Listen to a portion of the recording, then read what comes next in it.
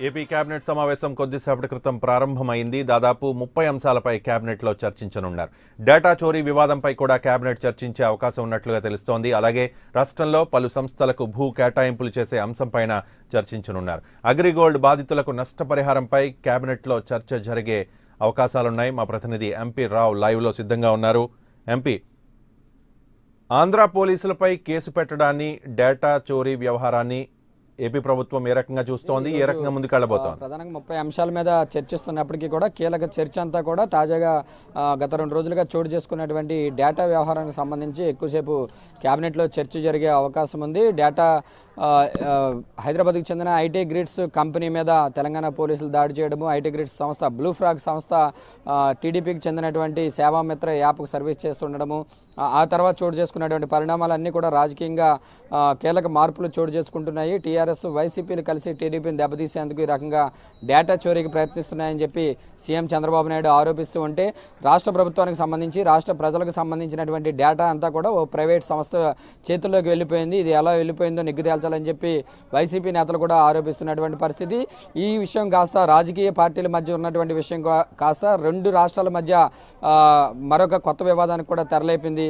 So దీంతో ఏ విధంగా దీన్ని దీనికి ఫుల్ స్టాప్ పెట్టాలి? అసలు వాస్తవంగా జరుగుతున్నది ఏంటి? ఈ డేటా వ్యవహారంలో మూడు రోజులుగా జరుగుతున్నటువంటి పరిణామాలు ఏంటి అనేది నిన్న రెండుసార్లు రెండు అడ్వకేట్ జనరల్తో ముఖ్యమంత్రి సంప్రదింపులు జరిపారు డీజీపీతో కూడా చర్చలు జరిపారు. మొత్తం ఈ పరిణామాలన్నింటినీ కూడా ముఖ్యమంత్రి చంద్రబాబు నాయుడు తన మంత్రివర్గ సహచరులకు వివరించేటటువంటి అవకాశం ఉంది. రాజకీయంగా తెలుగుదేశం పార్టీని దెబ్బతీసేందుకే ప్రభుత్వాన్ని పడగొట్టేందుకే ఈ రకమైనటువంటి ప్రయత్నాలు వైసీపీ కానీ కేసీఆర్ టీఆర్ఎస్లు కానీ కలిసి చేస్తున్నాయని చెప్పి కూడా ముఖ్యమంత్రి ఆరోపిస్తూ వస్తున్నారు కాబట్టి దీన్ని ఏ విధంగా ఎదుర్కోవాలి? అటు ప్రభుత్వం పరంగా కానీ పార్టీ పరంగా కానీ ఏ రకంగా దీన్ని ఫేస్ చేయాలి అవసరమైతే న్యాయపరంగా ఏ రకంగా ముందుకు వెళ్ళాలనే దాని మీద క్యాబినెట్లో ఎక్కువసేపు చర్చ జరిగేటటువంటి అవకాశం ఉంది. కేవలం ఏదైతే బ్లూ ఫ్రాగ్ సంస్థ ద్వారా కేవలం టీడీపీకి చెందినటువంటి డెబ్బై లక్షల కార్య డెబ్బై లక్షల మంది కార్యకర్తల డేటా మాత్రమే మా వద్ద ఉంది.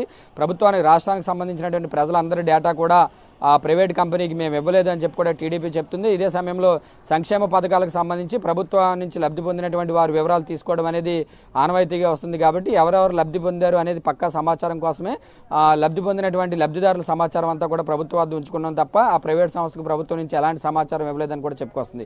సో అవసరమైతే దీని కోర్టు ద్వారా ఈ సమస్యకు చెక్ పెట్టేందుకు ఈ- సమస్యను ఫేస్ చేసేందుకు కూడా ముందుకు వెళ్ళాలని చెప్పి కూడా ముఖ్యమంత్రి ఆలోచనలో ఉన్నారు కాబట్టి ఈరోజు మంత్రివర్గ సహచరులతో చర్చించిన తర్వాత ఈ డేటా వ్యవహారం ప్రస్తుతం చోటు చేసుకున్నటువంటి పరిణామాల మీద న్యాయపరంగా ముందుకెళ్ళే అంశం మీద కూడా ఈరోజు కేబినెట్లో ఒక నిర్ణయం తీసుకునేటటువంటి అవకాశం కనిపిస్తుంది. ఎక్కువసేపు దీని మీదనే కీలకమైనటువంటి చర్చ జరిగేటటువంటి అవకాశం కూడా కనిపిస్తుంది.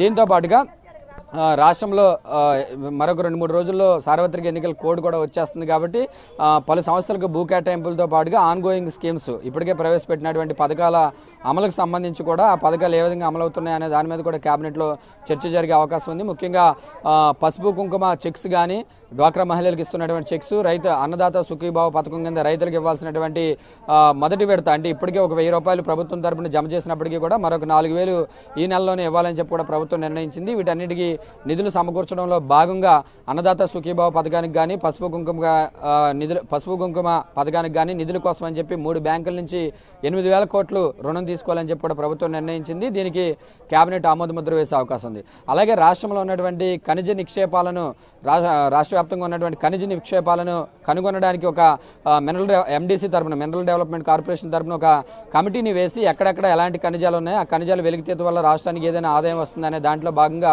కొత్తగా ఒక కమిటీని వేసే ఆలోచనలో కూడా ప్రభుత్వం ఉంది. ఈ కమిటీకి రాష్ట్ర ప్రభుత్వం ఒక గ్రీన్ సిగ్నల్ కూడా ఇవ్వనుంది అలాగే అగ్రిగోల్డ్ బాధితులకు సంబంధించి కూడా నష్టపరిహారం పంపిణీకి ఇప్పటికే కొన్ని చోట్ల అగ్రిగోల్డ్ బాధితులకు పరిహారం పంపిణీకి సంబంధించి ప్రాసెస్ స్టార్ట్ అయినప్పటికీ కూడా దీన్ని మరింత పకడ్బందీగా మరింత వేగంగా జరిపేందుకు ఏ రకమైనటువంటి చర్యలు తీసుకుంటే బాగుంటుంది అనే దాని మీద కూడా అగ్రిగోల్డ్ బాధితులకు పరిహారం మీద కూడా ఈరోజు క్యాబినెట్లో చర్చ జరిగేటటువంటి అవకాశం కనిపిస్తుంది. అలాగే పలు సంస్థలకు ఏపీఐఎస్సీతో పాటుగా పలు సంస్థలకు భూ కేటాయింపులకు కూడా ఈరోజు క్యాబినెట్ ఆమోద ముద్ర వేసే అవకాశం ఉంది. సో ఓవరాల్గా చూస్తే ఈరోజు కేబినెట్లో ముప్పై అంశాలు భూ కేటాయింపులకు సంబంధించి ఆన్ గోయింగ్ స్కీమ్స్తో పాటుగా ఎక్కువసేపు అయితే ఈ డేటా వ్యవహారానికి సంబంధించి ఎక్కువసేపు కేబినెట్లో చర్చ జరిగేటటువంటి అవకాశం కూడా కనిపిస్తుంది. Right thank you MP